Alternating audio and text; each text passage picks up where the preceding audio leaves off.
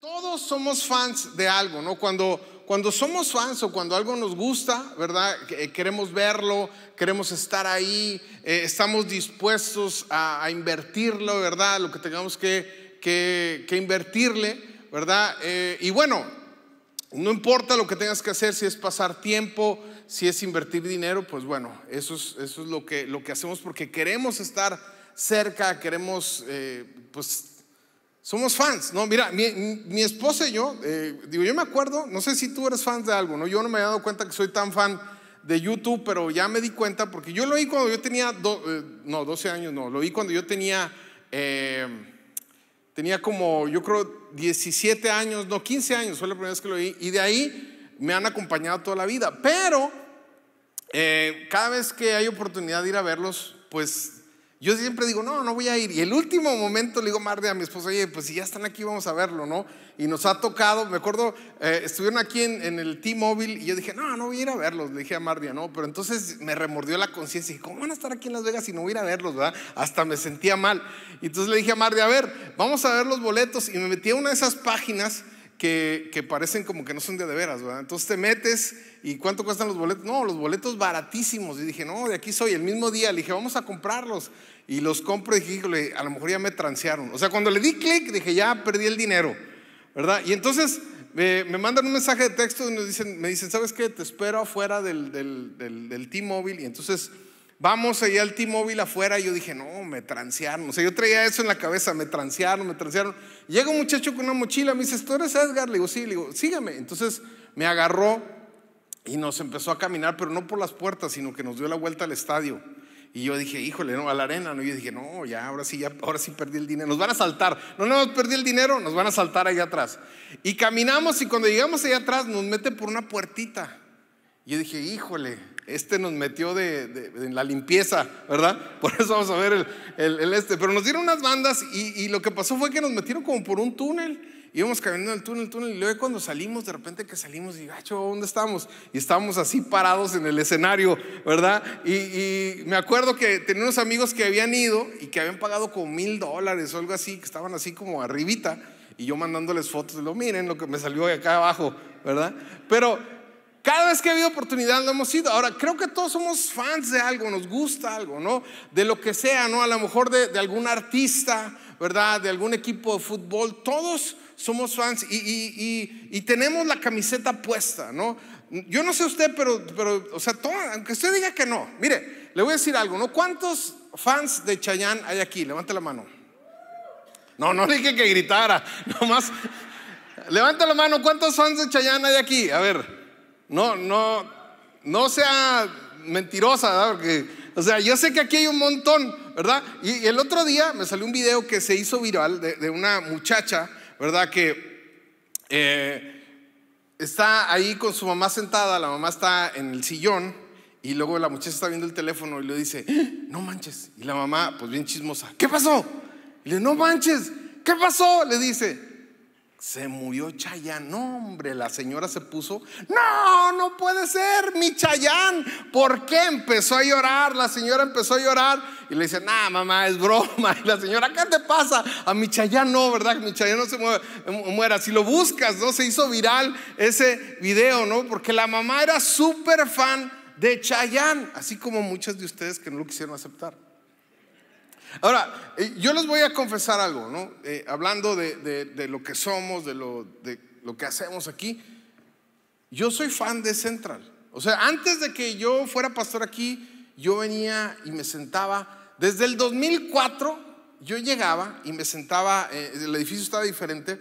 Rentábamos dos semanas aquí en Las Vegas nada más para venir a la iglesia y nos sentábamos atrás. Yo no sabía si había algo en español o no había algo en español, pero yo decía, esta iglesia en español estaría genial. Estaría, imagínate, ¿verdad? O sea, yo, yo es lo que pensaba, ¿no? Llegaba y me sentaba sin saber que unos años después me iban a invitar a, a, a, liderar lo español, a levantar lo español, básicamente porque no tenían nada, ¿no? Así que una de las cosas es que no nada más estoy aquí porque soy el pastor, me ha tocado levantar esto, sino que soy fan de lo que hacemos, soy fan de la manera en que hacemos las cosas, ¿no? Soy fan de, de la misión y la visión de Central, soy fan de que cuando llegues tú haya donas y café y que no te cueste nada.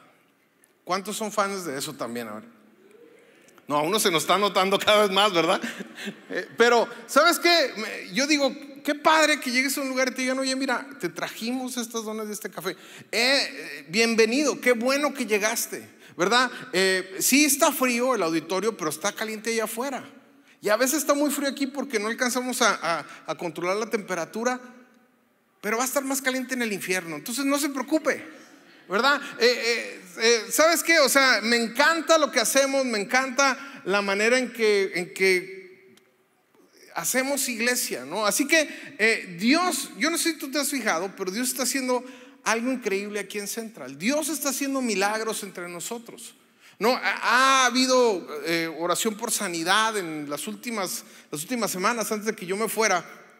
Eh, una persona aquí le dieron el diagnóstico de lupus, se sanó de lupus, en menos de una semana oramos, no fue como que una terapia, oramos un día y otro, no, sino que oramos y de repente cuando fue al doctor la otra semana para hacerse más estudios ya no tenía nada. Eso es un milagro. O sea, eso, eso, sí, denle un aplauso a Dios. Obviamente que... Eh, cuando fuimos a, lo de los hombres, ¿no? Eh, uno, Oscar Toro, si no lo conoces, bueno, eh, eh, el día de hoy no vino porque anda en un asunto familiar, pero estaba malísimo en las rodillas, ¿no? Y fuimos allá y Dios lo sanó. Tú dices, bueno, Dios está haciendo algo. Y no nada más eso. Hay muchas historias de gente que está conociendo a Dios. Hay muchas historias de gente que de alguna manera está dejando que Dios restaure su matrimonio, que Dios restaure su vida. Ahora, eh, no sé tú, pero una de las cosas que yo pienso, ¿no? Eh, nosotros no podríamos saber que existen líneas derechas si no existieran líneas chuecas, ¿no? O sea, no, no, habría manera de comparar. No sabrías que existe lo salado si no existiera lo dulce. Y a veces, ¿verdad? Cuando estamos aquí, cuando estamos en medio de lo que está pasando, no te das cuenta de todo lo que Dios está haciendo hasta que das un paso afuera y dices, wow, la verdad es que Dios está haciendo algo. No, y eh, eso me acaba de pasar ahorita en este viaje, ¿no? Dios está haciendo algo increíble aquí en Central. Yo estoy muy contento que tú estés aquí. ¿Por qué? Porque yo sé que tú eres la respuesta de la oración, no nada más mía, sino la oración de muchas personas que quieren que otros conozcan de Jesús, que han querido que otras personas experimenten a ese Dios que cambia la vida, que le da vida nuevamente a los matrimonios. Tú eres la respuesta a esa oración. Ahora, yo no sé tú, pero como te digo, yo, la verdad es que vamos, fuimos un montón de lados y yo digo, no, es que Dios está haciendo algo chido aquí. O sea, en mi mexicano, ¿verdad? Digo, Dios está haciendo algo, algo padre aquí. No, y eh, una de las cosas que pienso es que uno de los peligros de, cuando estamos en algo donde Dios está haciendo algo increíble, ¿verdad? En este lugar eh, que uno se emociona, ¿verdad? Uno regresa y uno, uno es parte de los grupos, tiene amigos, es parte de los servidores, ¿verdad? Eh, eh, pues vienes a, todos los domingos y, queremos que Dios nos toque, no queremos que, que Dios nos hable, queremos que de alguna manera sentirnos que Dios está cerca, ¿no? Yo estoy seguro que tú estás aquí por una necesidad que tienes de Dios. Yo estoy aquí por una necesidad de Dios. ¿no? Yo, quiero cumplir el propósito que Dios tiene para mi vida, pero la mayoría de la gente está aquí porque tiene una necesidad de Dios, de que Dios lo toque, de que Dios lo sane, de que Dios le responda, de que Dios le, le ayude con su matrimonio, con sus hijos. Es una necesidad. Y uno, sin darse cuenta, comienza a gravitar en uno mismo.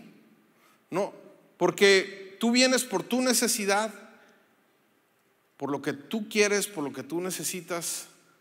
Y entonces comienza a ser mi necesidad, lo que yo siento, lo que yo necesito.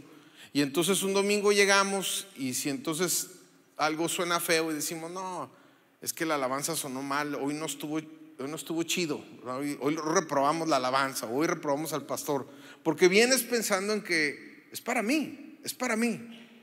¿no? Y si a mí no me sirvió, a mí no me gustó, entonces pues no está bien. ¿no? Y, eso empieza a suceder en todos lados. Y lo que empieza a suceder es que uno empieza a gravitar en uno mismo, ¿no? Uno empieza a gravitar en el mismo círculo de personas, en el mismo grupo de la iglesia, en el mismo, en el mismo lugar, nos comenzamos a enfocar en los que ya estamos aquí en la casa, en la gente que ya está aquí, en la gente que ya llegó. Ahora, eso es normal que suceda en cualquier grupo. A, muchas iglesias les sucede que empezaron, eh, eh, empezaron alcanzando gente y terminamos gravitando en nosotros mismos. Pero el problema es que por estar concentrados en, lo bien, ¿verdad? Que, nos está yendo aquí, por estar concentrados en, lo que sentimos, en venir y llenarnos de Dios, ¿verdad? Por estar concentrados en los milagros que Dios está haciendo. Entonces nos comenzamos a olvidar de los que todavía no están aquí, de la gente que necesita. Ahora, no, te estoy diciendo que, que te olvides de tu necesidad, pero si tú estás aquí, es porque Dios tiene planes más grandes para tu vida. Eh, si tú estás aquí es porque Dios te escogió. Dios dijo, esta persona que está aquí tiene necesidad, pero a la vez voy a cumplir mi plan a través de ella. Mira, hay gente a tu alrededor que está sufriendo y aún no conoce el amor de Jesús. Hay gente a tu alrededor que necesita conocer a Jesús. Hay personas a tu alrededor que están lastimadas, que una iglesia los lastimó. Hay gente a tu alrededor que, que un pastor los lastimó. No, hay, hay, gente a tu alrededor que otro cristiano lo lastimó. No hay gente a tu alrededor que, que está resentida con Dios. Porque algo malo les pasó. Ahora, yo, te digo algo, si tú estás aquí, tú estás resentido, yo espero que Dios sane tu corazón. Ese es mi deseo. Que encuentres amigos aquí, que encuentres una iglesia sana, que encuentres las donas y el café gratis, ¿verdad? Que, encuentres algo que, que Dios está haciendo. Pero te voy a decir algo, si tú estás herido, escúchame bien. Yo no te herí. O sea, yo no fui.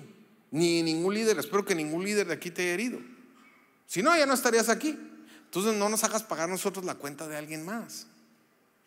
Déjanos abrazarte, déjanos servirte, déjanos caminar contigo, ¿verdad? Pero es, si estás herido, necesitas hacer a un lado tus heridas y dejar que Dios te toque. Hay gente a tu alrededor que no va a la iglesia, que no quiere acercarse a Dios porque está herida, pero lo que necesitan es conocer el amor de Jesús. Hay personas a tu alrededor que necesitan un milagro de sanidad, un, un milagro en sus finanzas, un milagro en su matrimonio, en sus relaciones con sus hijos.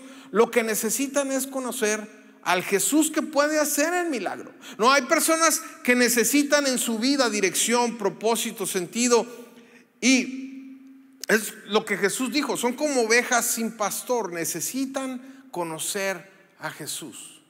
Necesitan conocer a Jesús. Y el día de hoy yo quiero hablar de la misión de la iglesia. Creo que es algo que tenemos que, eh, que hablar de ello. Es algo que nosotros aquí tenemos muy bien definido, y lo cual nos sirve para no desviarnos del propósito que Dios nos ha dado. Mira, eh, yo tengo suficiente tiempo en el ministerio y en la iglesia como para saber que hay muchos movimientos que se levantan a nuestro alrededor, de cristianos, ¿no? Y nosotros somos parte de, las iglesias, pero de repente hay un movimiento que se levanta aquí y con cosas, ¿no? Así, no sé, diferentes cosas. No me voy a meter mucho en eso.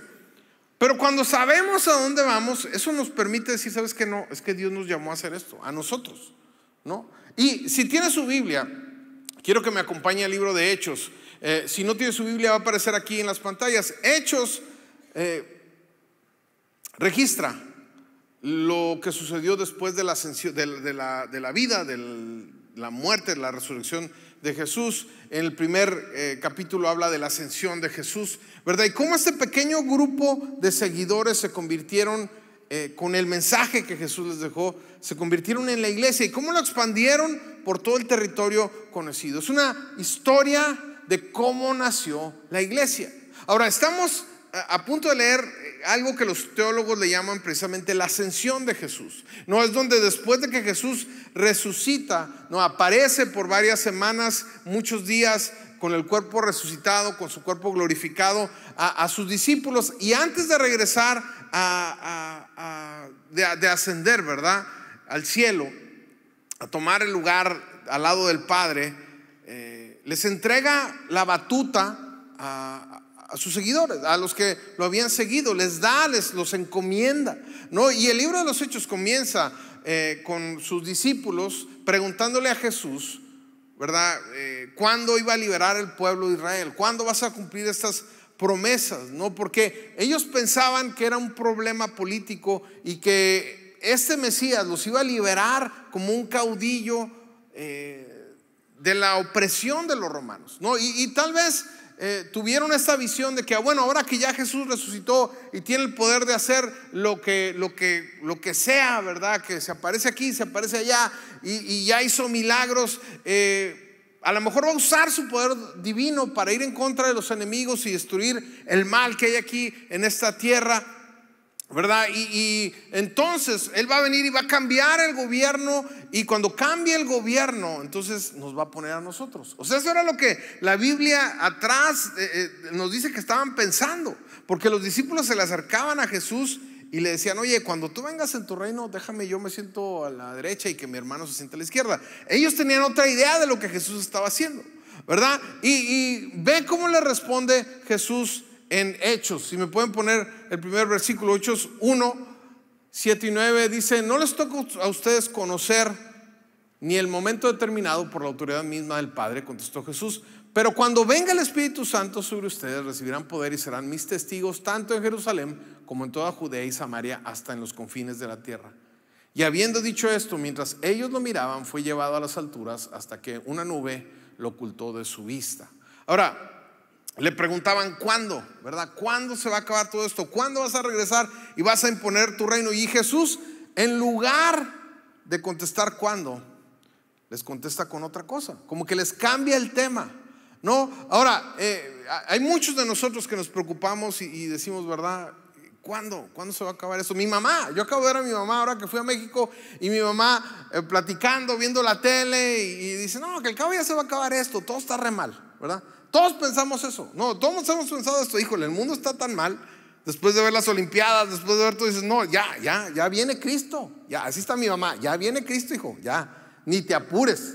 Ya que las hijas no estudien, ya que no, ya viene. No, no, espérese, mamá, espérese, no para tanto, ¿verdad? Pero es la misma línea de pensamiento de los discípulos cuando le preguntaban, Jesús, ¿cuándo? ¿Cuándo va a pasar todo esto? Ahora, eh, Jesús no se puso a sacar cuentas de cuándo, ¿no? Como muchos de nosotros tratamos de hacer. No hay videos en internet diciéndote el día y la hora de cuándo Cristo va a regresar, lo cual, la verdad, va en contra de lo que dice Jesús. No tratamos de predecir cuándo, pero Jesús les dijo, hey, nadie sabe, solo Dios, solo el Padre. Esa parte de la historia está en la sola y absoluta autoridad de Dios. Nadie sabe. Cuando alguien te venga y te diga, ya va a venir Cristo, ya, ¿verdad? Prepárate. No que no le creas, porque es Cristo sí va a venir. Vive como si todos los días fueran el último día. Es lo más sencillo, ¿verdad? Pero si alguien te viene y te dice la hora exacta y la fecha, no le creas, porque dice la Biblia que nadie sabe. Jesús dijo nadie sabe.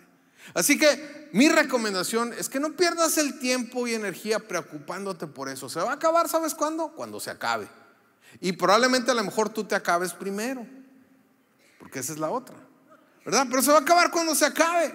No, pero en lugar de preocuparnos cuándo va a pasar todo esto, debemos de ocuparnos en lo que Jesús les dijo, en la misión que les dejó. Mira, ellos quieren una respuesta de, de una fecha, de cuándo, cuándo va a ser el lugar. Y en lugar de recibir una fecha, reciben una serie de instrucciones y una misión. Es lo que Jesús les da, les da una misión. Mira, ¿Cuántos de ustedes han visto alguna vez alguna película de Misión Imposible? Levante la mano, ¿verdad? O ha escuchado la canción, ¿verdad? Ta, ta, ta, O sea, si ha visto las películas son parecidas, ¿no? Es Tom Cruise, es el, el, personaje importante, ¿verdad? Tiene que cumplir con una misión, con una tarea, con un objetivo específico y siempre tiene que ver con salvar el mundo, ¿no? Siempre, siempre va a salvar el mundo de algo catastrófico que nadie más se va a dar cuenta más que los de la misión imposible.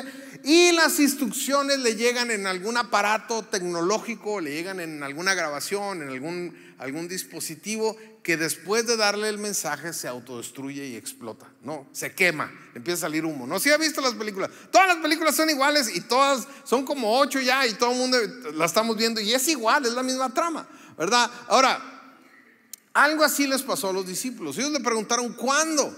Y en eso Jesús voltea y les da una misión, ¿no? Y eh, cuando ellos empezaron, después de que Jesús se fue, ¿verdad? Y, que entendieron y siguieron las instrucciones y se apegaron a la misión que Jesús les dejó, cuando ellos eh, empezaron a decir, ok, esto es lo que vamos a hacer, entonces comenzaron a suceder los milagros. Es increíble, ¿no? Y no solo para ellos, sino a través de ellos, ¿no? Cosas no comunes, cosas que, que, ellos no podían hacer, ¿verdad? El milagro del Espíritu Santo que llegó y, sobre los creyentes la primera vez y comenzaron a hablar en otras lenguas. Eso sucedió unas semanas después, ¿no? Pedro, ¿verdad? Nunca había predicado, era un experto y predicó por primera vez un sermón y a través del poder de Dios, tres mil personas se, sumaron a la iglesia, se convirtieron, creyeron en Jesús. Tres mil, tres mil, aquí le caben cinco mil. O sea, la iglesia empezó así, imagínense. O sea, la parte, toda la parte de abajo llena. Así empezó la iglesia. No era normal, era un milagro. No, ahora, sanidades, gente dando generosamente, confiando en Dios, no, Dios protegiendo a sus discípulos milagrosamente, rescatándolos de la cárcel, sacándolos de la cárcel. Pedro dice que iba caminando y su sombra, donde tocaba a los enfermos, se sanaba. No, cosas que no eran normales. Usted dígame, ¿es eso normal? Claro que no. Dios estaba haciendo algo, Dios estaba haciendo milagros. Pero todos estos milagros estaban encaminados a una sola cosa, que la gente conociera a la fuente de los milagros, que la gente conociera a Jesús. Que no se te olvide eso, los milagros tienen el propósito de apuntar a aquel que puede hacer los milagros, a Jesús. Si hay milagros entre nosotros, la única razón por la que vemos los milagros es porque la gente necesita conocer a Jesús. Es eso. Jesús es el centro de los milagros, es el centro de las manifestaciones, de las cosas que solamente Dios puede hacer. Él es Jesús, es Jesús, esa misma iglesia que dejó Jesús y que se fue, somos tú y yo, los que estamos aquí. Esa es la iglesia. Ahora, yo pienso, ¿cómo? Si, nosotros somos, ¿verdad? Ese mismo grupo que le hemos dicho, a ver Jesús, yo quiero seguirte, aquí estoy, ¿qué hago? ¿Cómo podemos asegurarnos de que estamos en, la misma misión, en, la misma encomienda que le dejaron a esta primera iglesia? Y es muy sencillo, ¿no? y lo primero que tenemos que hacer es presentarle a las personas a Jesús. Es lo, que tenemos que hacer, es presentarle a las personas a Jesús.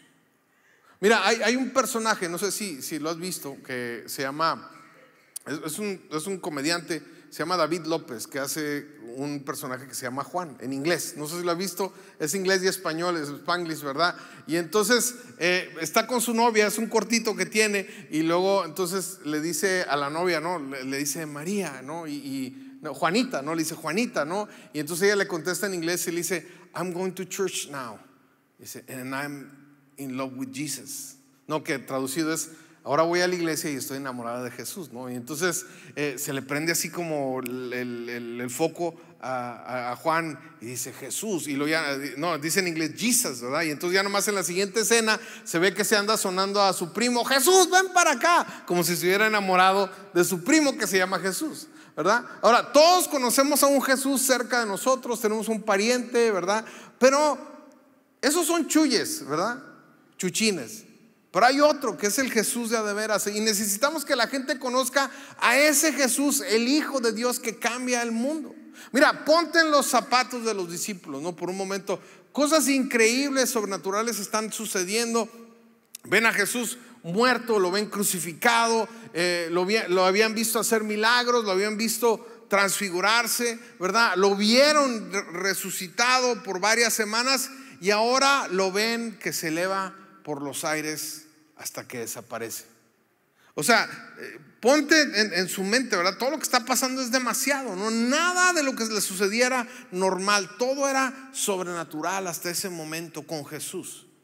Ahora, Jesús vino y él probó que, él dijo quién él eh, era, ¿verdad? Él lo probó. Así que eh, no había problema porque si Jesús cumplió lo primero que dijo, probablemente iba a cumplir lo segundo, ¿verdad? Que iba a regresar que, Él iba a, estar con nosotros todos los días hasta el fin del mundo, que Él eh, se iba a sentar al lado de, la diestra, ¿verdad? A la derecha del Padre, intercediendo por nosotros, que no nos iba a dejar desamparados, sino que iba a mandar el Espíritu Santo para que nos consolara, para que nos guiara, ¿verdad? Que mayores cosas que Él hizo, nosotros íbamos a hacer. Estas fueron las palabras de Jesús.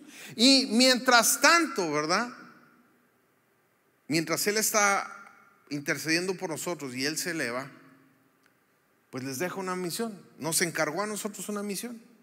Tenemos una misión. La primera parte de, lo que nosotros aquí repetimos en Central, presentar a las personas a Jesús, siempre lo repetimos, es porque creemos que tenemos esta misión. Queremos que la gente conozca a Jesús. Ahora, esto no se nos ocurrió a nosotros, ¿no? Eh, estas son las mismas palabras que Jesús les dice a sus discípulos y me serán testigos. Les dice, ahora, ¿por qué es importante cuando Jesús le dice y me serán testigos? Porque la palabra testigo aparece 39 veces en el libro de los Hechos. Eso significa que es realmente importante, es realmente importante. En el idioma original del griego, la palabra testigo es la palabra mártir. ¿no? Eh, eh, y en el término original del griego, lo que significaba en ese momento era aquella persona que iba a testificar en un caso legal que decía la verdad y, que estaba dispuesta a, a, ser expuesto, ¿verdad? Todas las consecuencias de decirlo. Ahora, la palabra mártir originalmente quiere decir alguien que estaba dispuesto a decir a los demás con sinceridad lo que había visto, lo que había escuchado y lo que había experimentado. Y en español la palabra mártir significa alguien que ha dado su vida por lo que cree. Ahora, ¿por qué significa eso en español? ¿Por qué? Porque los primeros seguidores de Jesús sabían a lo que se exponían y, a lo que habían sido llamados, ¿no? a, ser testigos, hablar de Jesucristo. Eh, y estaban dispuestos a hacerlo y estaban tan convencidos que estaban dispuestos a dar su vida por Él. Y es lo que hicieron. Y murieron tantos cristianos, tantos cristianos perdieron la vida hablando de Cristo, testificando de Él, que la palabra testigo y la palabra mártir comenzaron a significar lo mismo. Alguien que da su vida por lo que cree. Pero ese término viene de que tantos cristianos estaban dispuestos a dar su vida por testificar de Cristo. Ahora, la iglesia primitiva era tan importante, ¿verdad? Para ellos presentar a, la gente a Cristo que dejaban sus posesiones, eh, dejaban a sus familias, dejaban a sus hogares, eh, incluso sus propias vidas para ser testigos de otros, para que otros conocieran a Jesús. Jesús dijo, y serán mis testigos, serán mis mártires. Y esa es parte de tu misión. Y como en todas las de misión imposible, ¿verdad? Tú decides si aceptas o no la misión. Y si le Dios, si tú diste mi vida por mí, yo quiero dar mi vida por ti. Es lo que dice la Biblia, que uno dio su vida por todos para que todos pudiéramos vivir y ahora nosotros podemos también hacer lo mismo y que mucha gente conozca a Jesús. Ser testigo significa hablar de lo que hizo Jesús, de lo que puede hacer en la vida de las personas, hablar de sus promesas, de sus enseñanzas, hablar de, su gracia, del perdón, del amor de Dios. La gente necesita escuchar que Jesús tiene la respuesta al vacío que tienen en su corazón. En realidad Jesús lo tiene si lo dejan entrar. No, si tan solo, ¿verdad? Alguien les fuera y les hablara y les dijera. Probablemente no hay nadie más, más que tú. Tú eres ese alguien que necesita hablarles de Jesús. Pero no, no solo eso, ¿no? Ser testigo también tiene que ver con un estilo de vida. No, mucha gente se ha desilusionado del cristianismo porque tú puedes hablar lo que Jesús dice, tú puedes enseñar lo que Jesús enseña y vivir totalmente en contra y obviamente que la gente deja de creer en el mensaje. Obviamente, ¿no? Mira, cuando respondes con amabilidad, en lugar de una agresión, porque escuchas a Jesús, ¿qué es lo que tienes que hacer? Está siendo su testigo. No es que te guste. Todos nosotros, si alguien se nos atraviesa en un carro, yo no conozco a nadie que no quiera rayársela. Ay, ¿por qué te me atravesaste? Hijo de tu Dios te bendiga, ¿verdad? Pero ¿sabes qué? La Biblia dice que no lo hagamos y entonces por obedecerlo a Él, si no, no lo voy a hacer.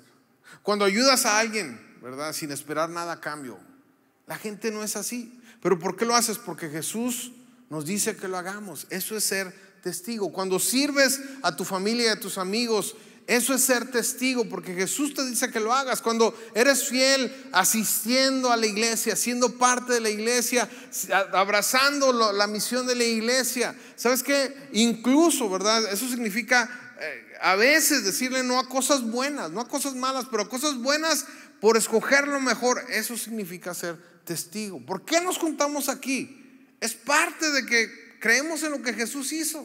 Cuando dices la verdad, aunque te duela, eso es ser testigo. Cuando diezmas y ofrendas porque quieres que la gracia de Dios se extienda a más y más personas, eso es ser testigo. Yo sé que mucha gente tiene problema con el diezmo y con la ofrenda.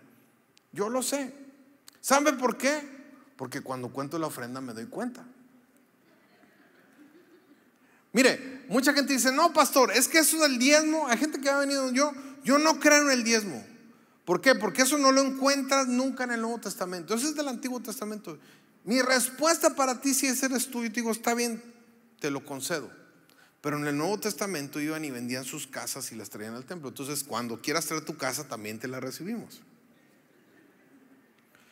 Pero no, esto, yo, yo lo que comencé diciéndote es que alguien oró por ti, pero no más alguien oró por ti. Alguien dijo, ¿sabes qué? Necesitamos unas bancas chidas no unas bancas duras, para que la gente no venga y esté pensando, ay, qué feas bancas y no reciba a Cristo, sino que ni, ni siquiera se dé cuenta de que está sentado en una banca y que pueda entrar y poner su cafecito ahí. Es más, la alfombra es para que se caiga el café y que se pueda limpiar. No para que te demos un periodicazo y no puedes entrar con el café, no. Pues ni modo, se cayó. Porque no queremos que estés pensando en otra cosa más que cómo puedo conocer a Jesús. Y esa gente dijo, ¿sabes qué? Yo quiero poner una silla, yo quiero que la iglesia se vea bien, yo quiero que poner para los focos, yo quiero poner para los hispanos, que no ponen para nada. No levante la mano. Pero ¿sabes qué? Alguien ha invertido de su vida, de su tiempo, de su dinero, porque le ha creído a Jesús, porque es parte de la misión. No, cuando invitas a otros a que vengan y se sienten, ¿verdad? Mira, eh, tú invítalos, hagamos equipo. Nosotros te prometemos que va a haber café y donas, es un plus. Engordemos juntos para Cristo. Pero, ¿sabes que También nos comprometemos a que la gente va a encontrar una buena iglesia donde predicamos la palabra de Dios. Van a encontrar un lugar donde adoramos a Dios juntos. ¿Sabes qué? Yo quiero ser un testigo fiel de Jesús, un testigo de su poder, de lo que puede hacer. Yo he conocido a Jesús, o sea, yo estoy aquí no porque alguien me lavó el cerebro, no estoy aquí porque me llevaron a, la iglesia de chico, ¿verdad? ¿Sabes por qué? Porque un día, más bien una noche, estaba hincado y Jesús me habló. Y eso, ¿sabes qué? No importa cuánto haya leído la Biblia, no importa. Eso el simple hecho de que Jesús me habló me cambió, me convenció de que Jesús era real. Y sabes que en ese momento yo abracé y dije, ¿sabes qué? Muchísima gente tiene que conocer a este Dios que es tan real. Ahora, eh, tú lo que necesitas hacer es abrazar la visión, la misión. Decir, ok, ¿cómo puedo hablar de Dios con otros? Pero Dios necesita ponerlo en tu corazón. Y, quiero que me acompañe. ¿Cuántos de aquí realmente quisieran decir, sabes qué, Dios, yo quiero estar en tu misión? Yo quiero, ¿quieres ver sus milagros? ¿Quieres ver a Dios? Necesitas estar en su misión. Levanta su mano. Tú sabes que yo quisiera. Ok, vamos a hacer algo. Cierra sus ojos. Cierra sus ojos, levante su mano derecha y vamos a hacer una oración. Repita conmigo, dile, Dios. No, pero dígalo con convicción. Dígale, Dios, por favor, dame la oportunidad de compartir lo que has hecho en mi vida con los que me rodean. Permíteme ser un fiel testigo de ti y cumplir con tu misión. Amén. Yo creo que Dios escuchó esta oración. Yo lo creo. Ahora, yo te voy a decir algo, oremos para que Dios nos dé la oportunidad de compartir de Jesús con otros, ¿no? O, de simplemente invitarlos, ¿verdad? a, que vengan, a que sean parte de lo que Dios está haciendo aquí. No, muchas veces lo único que la gente necesita es una invitación. Oye, vamos, ¿verdad? Por eso tenemos las tarjetitas, ¿verdad? Que te puedes llevar un montón. Siempre traemos en el carro, siempre cargamos con ellas. ¿Por qué? Porque invitamos a alguien y en lugar de apuntarle ahí en un papelito la dirección y el horario, pues es más fácil darle una tarjeta. Hay un montón y las hacemos para eso, para que te las lleves y que se las des a tus compañeros de trabajo o que se las des a tus amigos, a tus familiares. Cuando vayas a tacos el gordo, ¿verdad? Que se las des y que, y que, sabes que muchas veces lo único que la gente necesita es que los invites.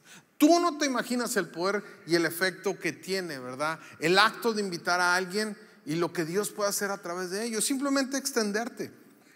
Y, y, uno a veces ya tiene el no en la cabeza y dice, no, es que me va a rechazar, no, es que me va a decir, probablemente sí, pero tú no te imaginas inclusive sobre el no lo que Dios puede hacer. Ya sabes que no quiero ir, ah, no importa, llévatelo, pégalo ahí en tu refrigerador y si algún día necesitas, ¿verdad? Aquí estamos, vamos a orar por ti, es lo que hacemos. Queremos ayudarte.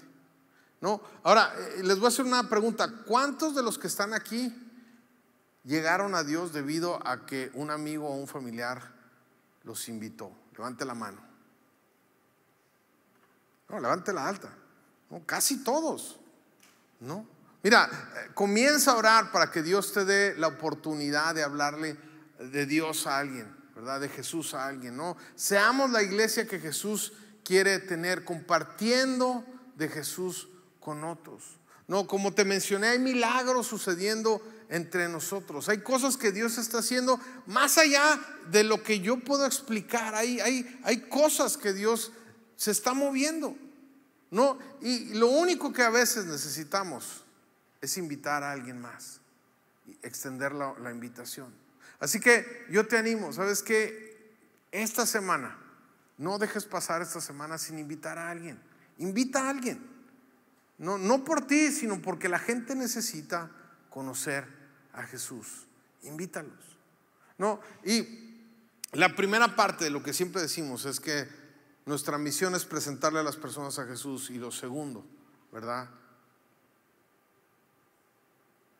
Presentar a las personas a Jesús y ayudarlos a seguirlo. Es la segunda parte. Lo que queremos es ayudar a que las personas sigan a Jesús.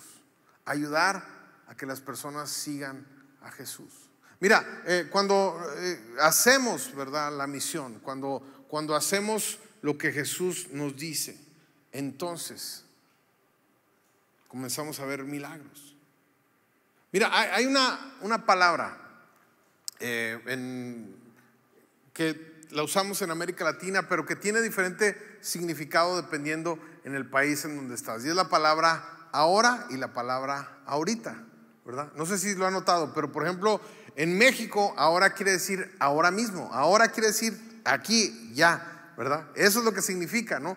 Y ahorita quiere decir, pues al rato, ¿verdad? Yo sé que en otros países es al revés, ¿verdad? Eh, ahorita quiere decir ahorita y ahora quiere decir ahora, pero en México no, en México es ahora es ahora y ahorita es ahorita, ¿no? Y, eh, si tú le preguntas a un mexicano, ¿verdad? Y te dicen ahora, obviamente bueno es ahora mismo, pero el problema es cuando te dice ahorita, ¿verdad?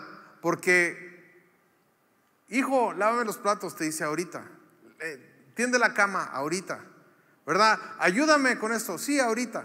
Y ahorita es ahorita, y ahorita es ahorita, y ahorita es nunca, ¿verdad? Eso es lo que pasa con, la palabra, ¿no? Y, la Biblia dice que los discípulos se quedaron viendo a Jesús irse, pensando que Jesús se fue, pero que iba a regresar ahora. Y Jesús les dijo, ahorita regreso. Es lo que les dijo. Mira, Hechos 1, 10 y 11 dice lo siguiente. Dice, ellos se quedaron mirando fijamente al cielo mientras Él se alejaba. Imagínate, ¿verdad? O sea, se fue haciendo así chiquito, chiquito. De repente se les acercaron dos hombres vestidos de blanco que les dijeron, Galileos, ¿qué hacen aquí mirando al cielo? Este mismo Jesús que ha sido llevado entre ustedes al cielo vendrá otra vez de la misma manera que lo han visto irse. Ahora imagínate, ¿verdad? El texto insinúa que, que los apóstoles no entendían realmente lo que Jesús les acaba de decir. O sea, eh, tal vez pensaron que Él volvería enseguida, ¿verdad? Que, o que algo sobrenatural iba a suceder en ese momento y se quedaron viendo a ver qué sigue, qué sigue, ¿verdad? En lugar de ir y actuar de acuerdo con lo que Jesús les había dicho, ¿no? Eh, se quedaron estancados en sus propias expectativas de que iba a suceder algo en ese momento. Y el ángel, se les tuvieron que aparecer estos ángeles, ¿verdad? Y les dice, Jesús regresará de la manera en que lo vieron irse. Pero ahora, ahora ocúpense de la misión de ser testigos. No se preocupen, Él va a regresar. Pero ustedes vayan y sigan estas instrucciones. Ahora, ¿qué significa la misión que nos dio? Ayudar a las personas a que las personas se acerquen, ¿verdad? Y sigan a Jesús. Hay una parte importante aquí que es que la persona, las personas necesitan querer seguir a Jesús. Y para poder seguir a Jesús, lo primero, obviamente, es que tienes que tener el deseo de, de seguirlo. Y lo segundo es que necesitas estar dispuesto a estar presente. Ahora, eh, ¿por qué digo esto? Porque mucha gente quiere seguir a Jesús a su manera, ¿verdad? Que Jesús los encuentre a ellos en su propio camino. Cuando Jesús dijo, hey, yo soy el camino. Tú quieres eh, que Jesús te encuentre o encontrarte a Jesús, pero cuando tú haces lo que tú quieres, y Jesús dijo, no, yo soy, sígueme a mí. No, ahora, yo estoy consciente de que como iglesia no tenemos mucho que ofrecerle a la gente, no tenemos mucho que ofrecerte si no estás presente físicamente, si no llegas. Ahora, ¿qué quieres decir esto? Pues pues que llegues, que te involucres, que seas parte, que encuentres a un grupo entre nosotros. Hay muchos grupos, están los grupos los miércoles, están los que sirven. Eh, eh, hay, hay cosas sucediendo, ¿no? Que seas parte de primer paso, que entres a la clase si no lo has hecho, que seas parte de las clases extras que estamos haciendo. El domingo no es suficiente como para decir, ah, sí, yo sigo a Jesús. El domingo no es suficiente para eso, necesitas invertirte ponerlo como prioridad. Ahora, me gustaría decir, ¿sabes qué? No necesitas tu cuerpo para seguir a Jesús. Con tu mente y con tu espíritu lo puedes hacer. No, es todo el paquete. Es como querer ir al trabajo en el carro y dejar el carro en tu casa. No te puedes teletransportar. Tu carro eres tú, tu cuerpo. Pero para que Dios haga algo contigo tienes que estar presente, tienes que hacer acto de presencia. No, y mi pregunta para ti, yo quiero que seas honesto y levantes tu mano. ¿Cuántos quisieran conocer más a Jesús y crecer en su vida espiritual? A ver, levante la mano. Ahora, para eso usted necesita su cuerpo. No es nada más algo espiritual, necesita hincarse para orar. Eso requiere de su cuerpo. No, usted necesita estar físicamente presente, ¿no? Hay cosas, ¿sabes qué? Que yo necesito como pastor que hagas. No son cosas que si las haces, vas a comenzar a crecer espiritualmente y a conocer a Jesús. Son cosas muy sencillas, son cuatro cosas hasta. De hecho, las hemos simplificado de esa manera como para que puedas decir, ok, ya sé qué es lo que tengo que hacer. Si tú haces estas cuatro, yo te garantizo que vas a empezar a crecer. Y lo primero es que no faltes, no faltes los domingos, no faltes a grupos, no faltes, está presente, no eh, participa, adoremos a Dios juntos, aprendamos juntos, experimentemos a Dios juntos para no alejarnos de Él, para no alejarnos de los demás, para no alejarnos de la misión. No, no puedes separar el estar presente del crecimiento espiritual, no lo puedes separar. Me gustaría decirte otra cosa, pero si nada más te aparecen los domingos, te vas a quedar medias, vas a ser un niño desnutrido.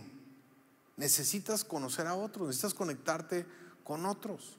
Así que lo primero que yo necesito es que no faltes el fin de semana que, y, a lo que estamos haciendo, que estés presente. Lo segundo, ¿verdad? Que necesito que hagas yo, yo como pastor, que digo, sabes que si quieres crecer es que necesitas invitar a otros.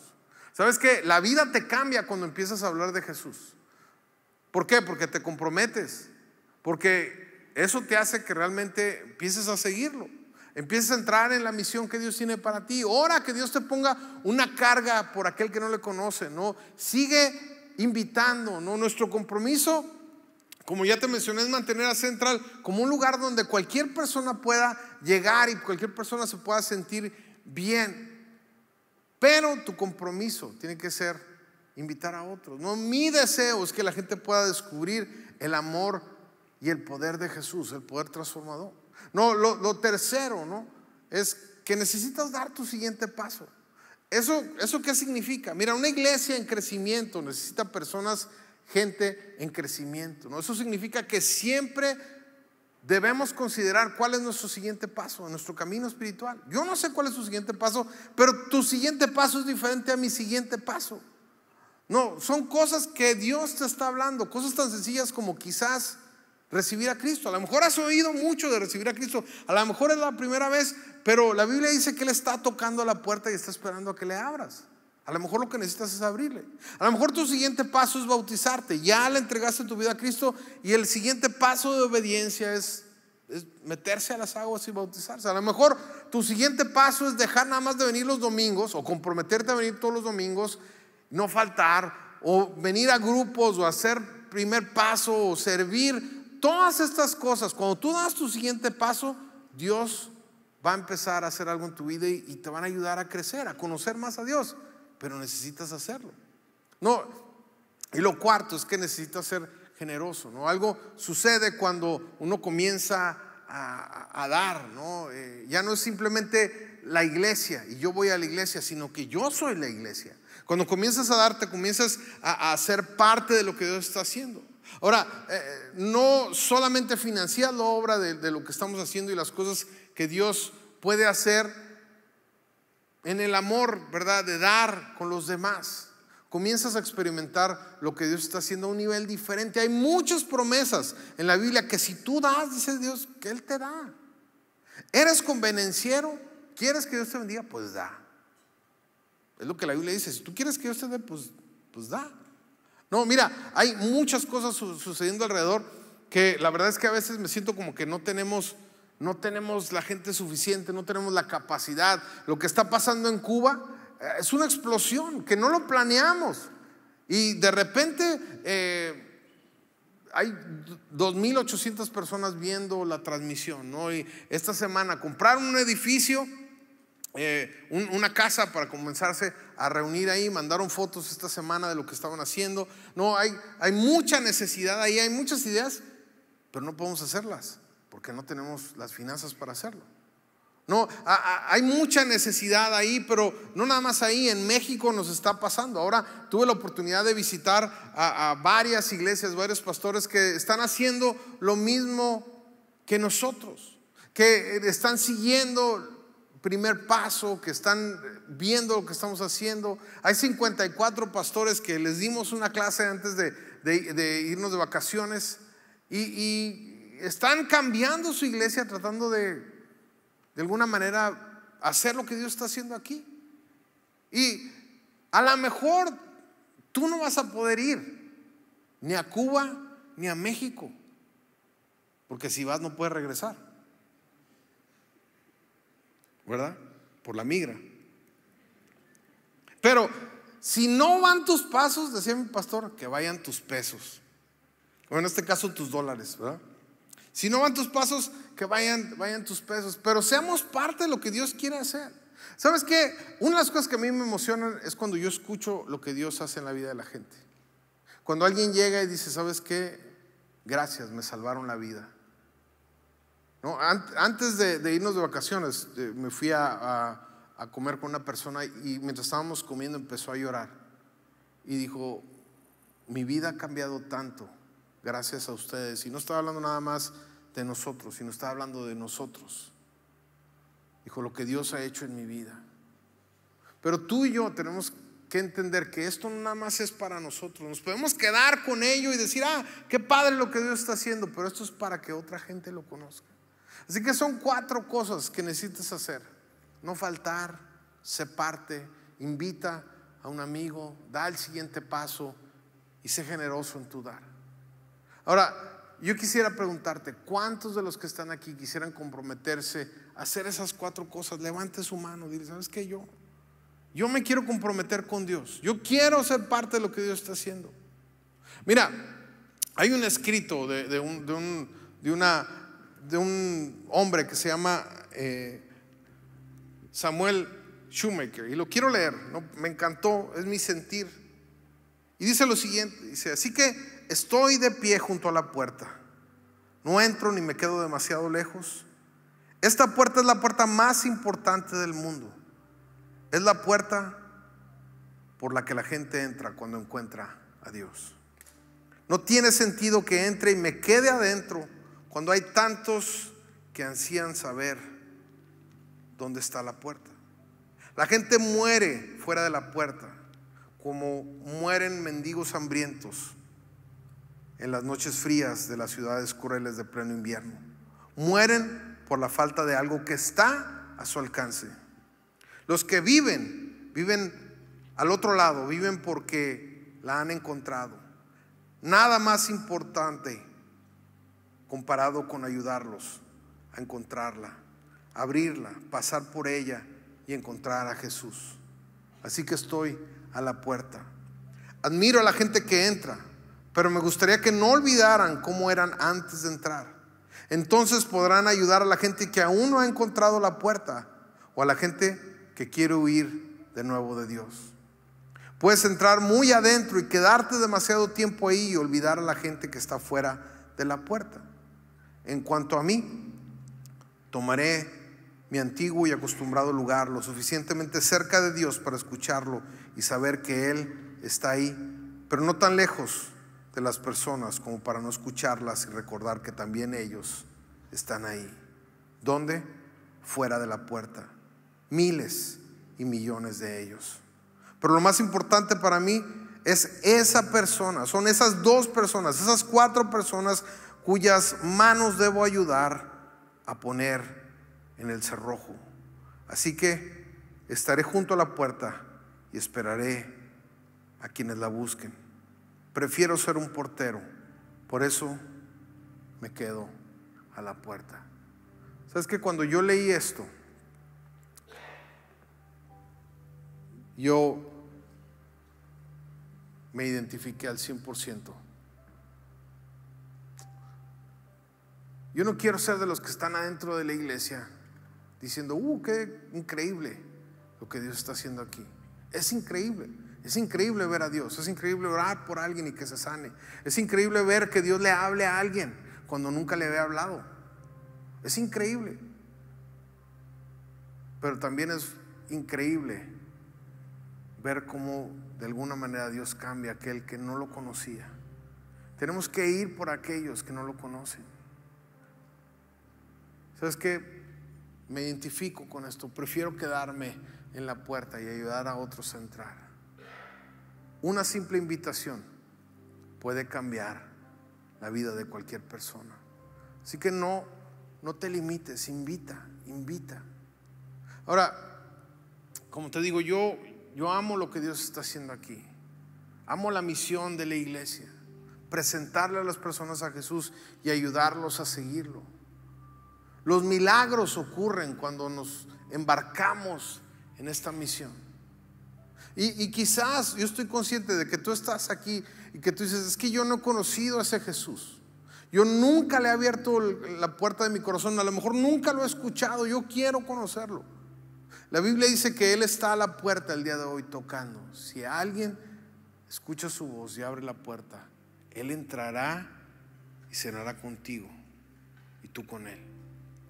Yo quiero invitarte, cierra tus ojos ahí en tu lugar. A lo mejor tú estás aquí y tú dices, ah, yo quisiera conocer a ese Jesús.